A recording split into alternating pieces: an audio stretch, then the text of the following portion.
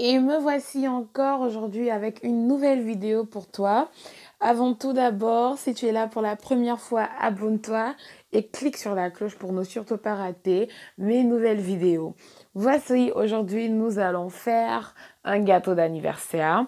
Voilà, c'est l'anniversaire de mon neveu et je me suis dit, je vais vous montrer comment j'ai fait ce gâteau. Alors pour la base, nous aurons besoin de 300 g de beurre, 450 g de farine, 250 g de sucre, 300 g d'huile, 6 œufs, 200 g d'amandes écrasées, un peu d'extrait de vanille et une pincée de sel. Alors pour commencer, nous allons d'abord mélanger les œufs, le sel et le sucre pendant environ 4 à 5 minutes.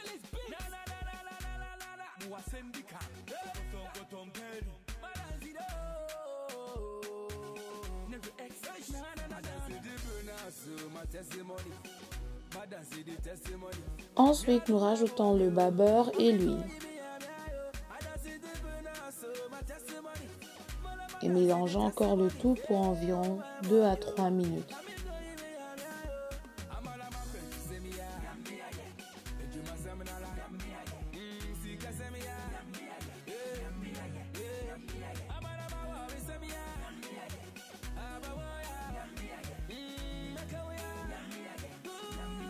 Maintenant, nous allons rajouter la farine en la tamisant.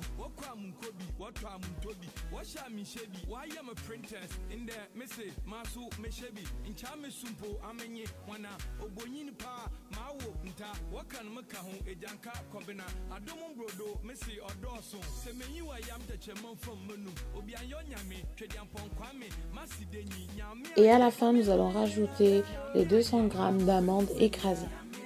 Et tout mélanger avec un fouet.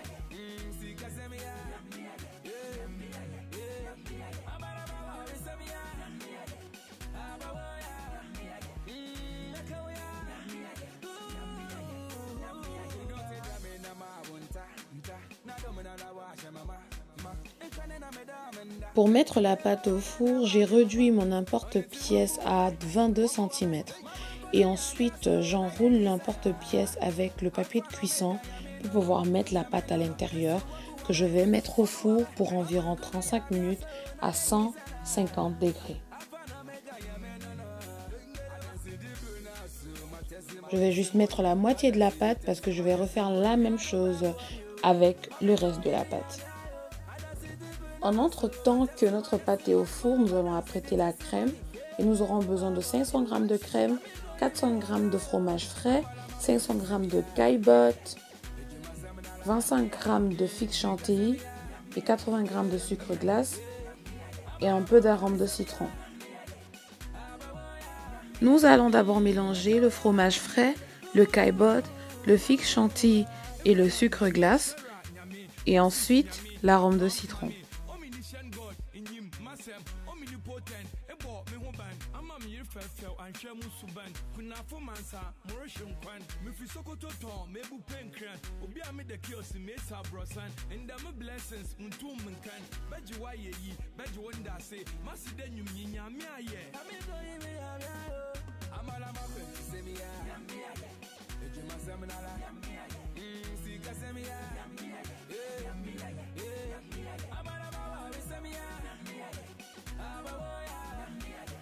Ensuite, nous rajoutons la crème.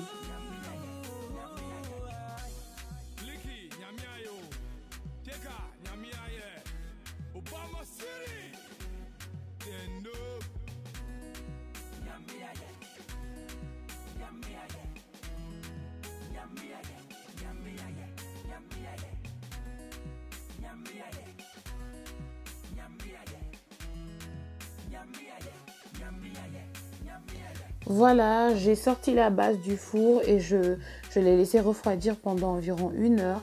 Et maintenant, nous pouvons commencer à superposer nos bases.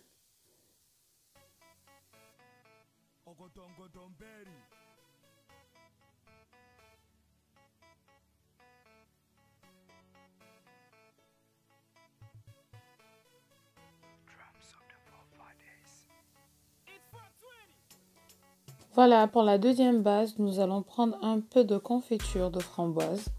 Vous pouvez aussi prendre une autre confiture, juste je préfère vraiment la confiture de framboise et appliquer sur toute la base, ensuite reposer la crème dessus.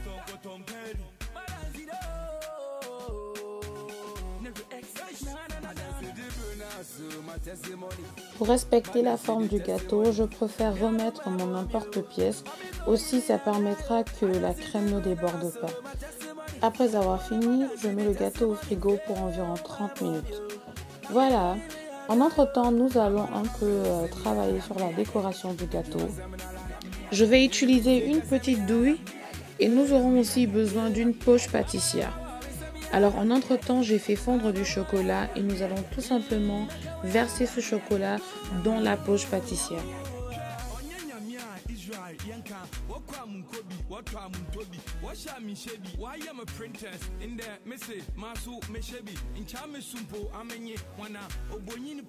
Alors je vais délicatement commencer à écrire le nom. Vous pouvez aussi choisir d'écrire autre chose ou vous pouvez aussi faire des dessins comme des cœurs ou des étoiles. Mais juste il faut le faire vraiment tout doucement. Et surtout n'oubliez pas d'utiliser un papier de cuisson pour pouvoir séparer le papier de cuisson du chocolat après avoir laissé le chocolat sécher totalement.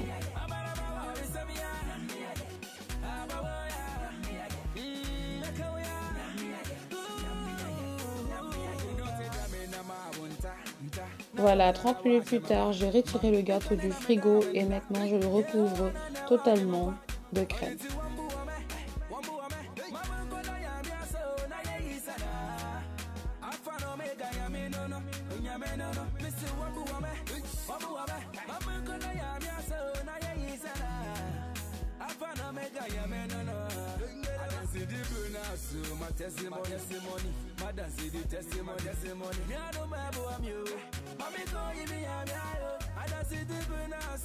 Pour la décoration du gâteau, nous aurons encore besoin de 200 g de crème et nous allons rajouter quelques gouttes de colorant euh, alimentaire à l'intérieur. Euh, le nombre de gouttes dépend vraiment de la couleur que vous voulez atteindre. Moi, je voulais un bleu pas très sombre mais pas trop clair non plus. J'ai rempli la poche pâtissière avec la crème et je commence à former des fleurs avec la douille que j'ai choisie. Voilà, il y a plusieurs sortes de douilles. Vous pouvez vraiment choisir la douille qui vous plaît.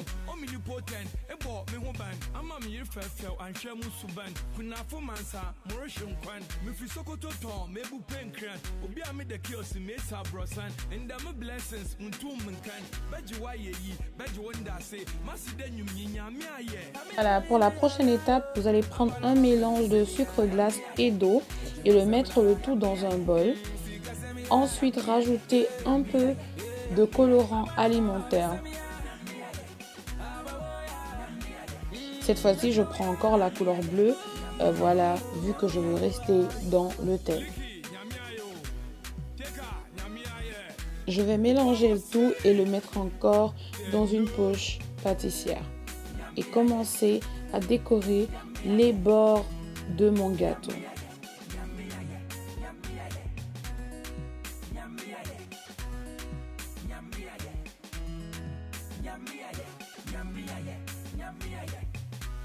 Voilà, ensuite je vais prendre du confetti et appliquer le confetti tout autour du gâteau.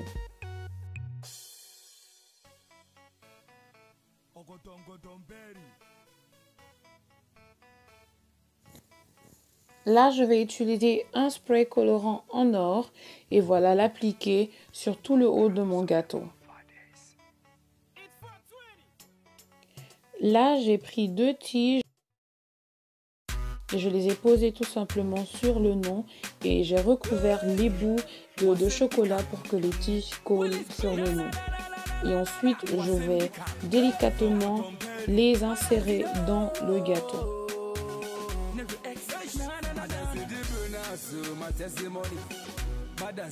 Et devant, j'ai encore ajouté une petite bougie. Vraiment, si cette vidéo t'a plu, n'hésite surtout pas de t'abonner.